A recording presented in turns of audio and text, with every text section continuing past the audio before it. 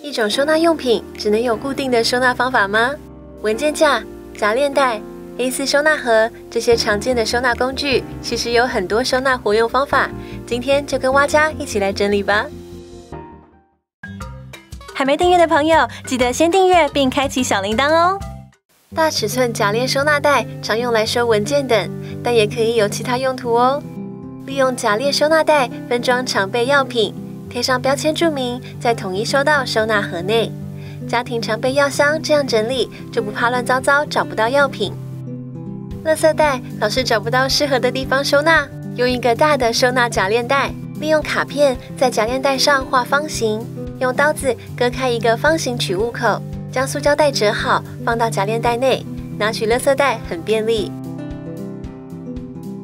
把这个垃圾袋收纳袋挂在厨房门板上。要拿垃圾袋的时候就更顺手喽。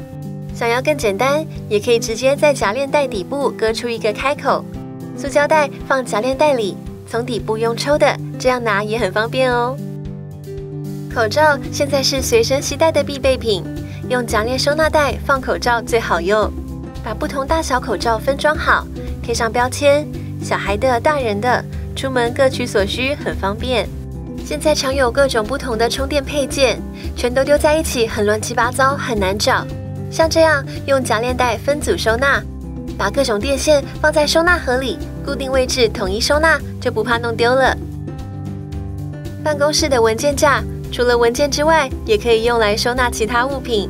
文件架是很好用的餐盘收纳架，餐盘叠放其实很不好拿，把盘子立起来收，拿取就方便多了。文件架可以绑条绳子，这样就不怕放在里面的餐盘滚出来。文件架做餐盘直立收纳架真的很适合呢。除了盘子之外，文件架放锅子也很好用，直立收纳不占空间又好拿，像这样放在柜子或抽屉里取用都很方便。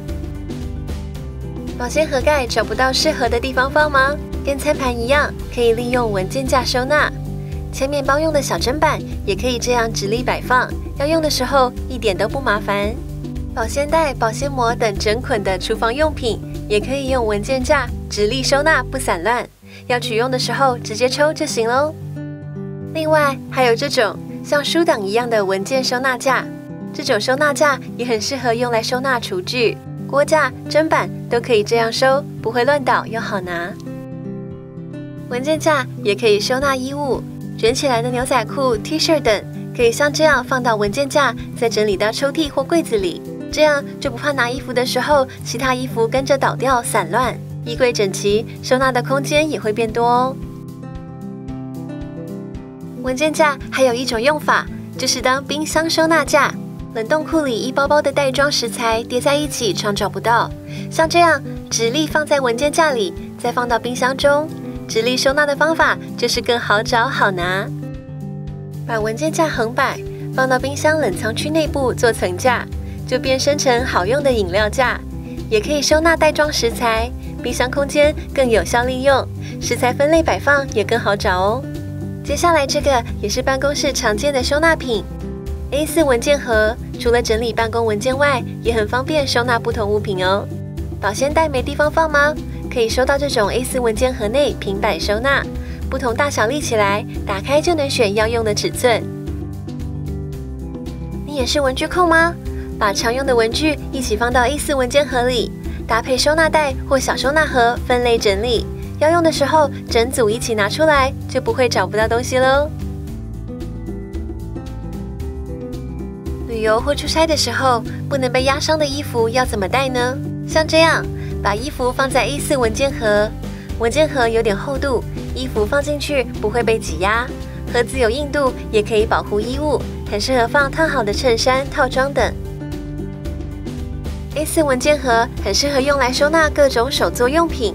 你也有大大小小的印章、印泥吗？把整组手作工具收纳在 A4 文件盒里，取用很方便，又不怕散乱。在文件盒背贴上标签纸，放在柜子里收纳，既整齐又好找，可以多多活用它哦。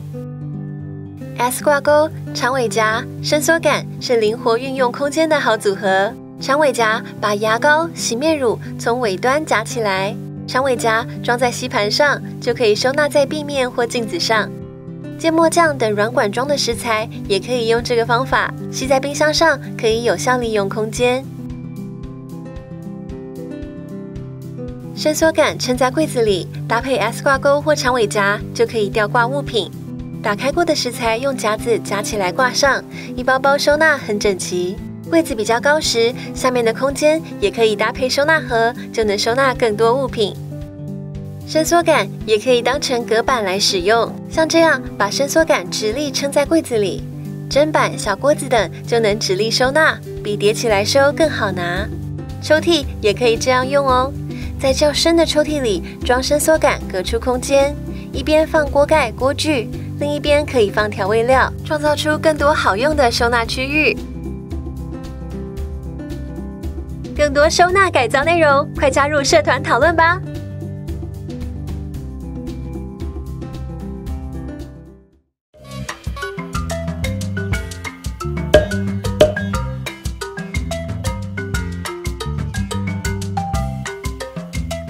最后记得按赞、订阅并开启小铃铛，锁定蛙家每周三更新，带给你一则让生活更美好的优质内容哦！